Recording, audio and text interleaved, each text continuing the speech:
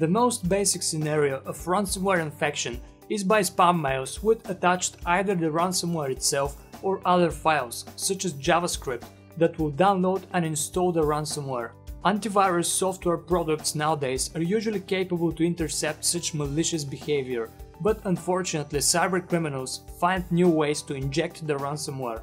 According to a new post on Microsoft Malware Protection Center blog, a new and very effective way for cybercriminals to bypass antivirus software is hiding malware very deep into installers, such as NSIS. This happens by making the installer and its contents look as normal as possible, by not having any randomly named files, and by nesting, encrypting and obfuscating the malicious code as much as possible and have it reveal itself only when needed. Apparently cybercriminals are not giving up on ransomware anytime soon.